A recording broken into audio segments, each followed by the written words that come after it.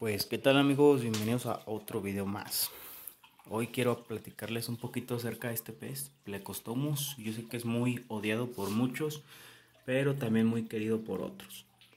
Para empezar, yo sé, yo sé que es un pez eh, plaga, es un pez que crece bastante, pero si lo tenemos en un acuario correcto, en un acuario grande, con los peces correctos, va a ir bastante bien en el acuario.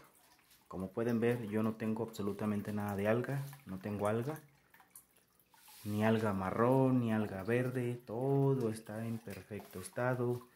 El sustrato no presenta tampoco alga, todo va bien. Esto también depende mucho de la luz. Pero como pueden observar, yo aquí no tengo nada de alga. Todo el alimento que no se ha consumido por los goldfish, adivinen quién me lo va a consumir y no va a generar fosfatos. Pues este plequito, vean, es el que me va a ayudar o echar la mano en comerse todo el alimento que no se ha consumido. Ojo, este pez no come excremento como muchos piensan. Este pez proviene de, pues son peces parecidos a las coridoras, ¿no? La diferencia, o de los otocinclus, se parece más a un otocinclus. La diferencia es que este sí crece bien grandote. A comparación de los otocinclus que crecen 7 centímetros, 5 más o menos así y este sí crece hasta los 80 yo creo que por aquí. Entonces hay que tener en cuenta el tamaño también. Pero si los colocas en un acuario grandote no vas a tener ningún problema. Este acuario es de 300 litros y la verdad que cuando llega a su etapa adulta sí se va a ver muy corto de espacio.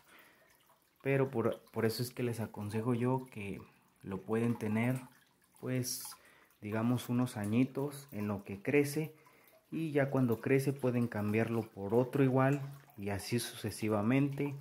Esto se hace o esto yo lo hago cuando ya el pez crece bastante grande y ya no cabe en el acuario, es momento de cambiarlo y vuelvo a adquirir otro más chico y sucesivamente. porque yo lo mantengo aquí en los acuarios? Bueno, como les comento, me limpia el alga, me limpia el, el alimento que no se ha consumido por los peces, me mantiene los parámetros a raya porque esto ocasiona o este pez hace que te consuma el alimento y que no se pudra en el fondo, ¿no?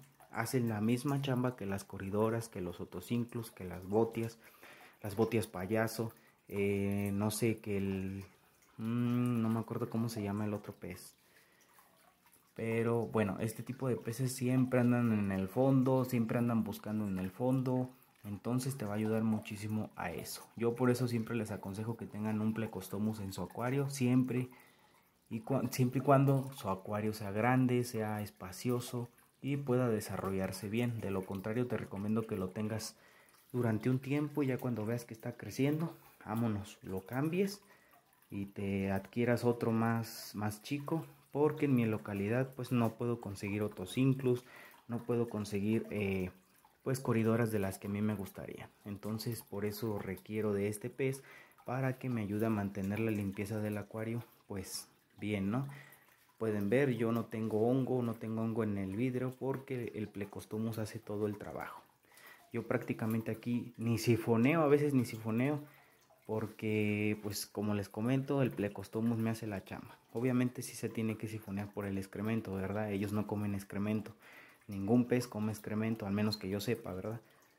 Pero pues como pueden ver me mantiene pues me mantiene limpio el acuario. Muchos no, como les comento, muchos no lo no, les gusta porque les hace, les, se les hace feo, porque por la estética o porque crece bastante o porque es plaga o porque crece mucho, etcétera. Yo la verdad es que se los aconsejo para que los tengan en su acuario y este pues puede convivir con goldfish, puede convivir cualquier tipo de pez que no sea de fondo, porque si es de fondo, sí, yo he visto que antes tenía unas corredoras aquí y no les hacía nada, pero llegó un momento en donde sí las perseguía, entonces sí era medio, pues medio territorial, ¿no?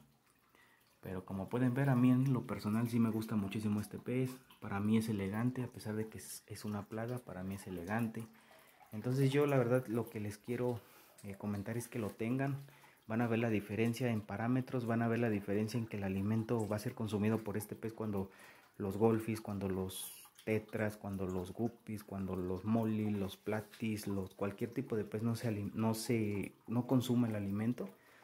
lo va a consumir él y él te va a mantener todo a raya. Por eso es que les, les aconsejo yo que tengan este tipo de pez.